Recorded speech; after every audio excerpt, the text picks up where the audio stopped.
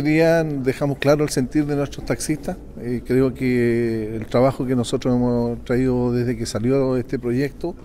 eh, no lo hemos encontrado un buen proyecto para el gremio, creemos que es un pésimo proyecto, creo que es un proyecto, como lo dijimos, un traje a la medida para las plataformas y venimos a, dar, a, dar a conocer el sentir del conductor atacameño con respecto a este tema que nosotros lo hemos sufrido mucho.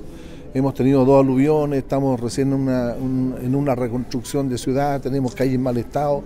eh, tenemos mucha problemática con respecto y lo más importante que hoy día eh, venimos a dejar claro que realmente nosotros las regiones también tenemos el derecho a hablar y hacerlo sentir con respecto a lo que nos está pasando y agradecer eh, esta instancia a nuestra diputada que se portó muy bien y a su equipo, a su equipo que está trabajando, así que creo que dejamos bien representada nuestra región con respecto a nuestras demandas. Esperamos que seguir trabajando con, nuestros parlamentarios eh, para que cuando esté la discusión en pleno seamos favorables con respecto a la mejora enorme que, tiene, que se necesita de este proyecto.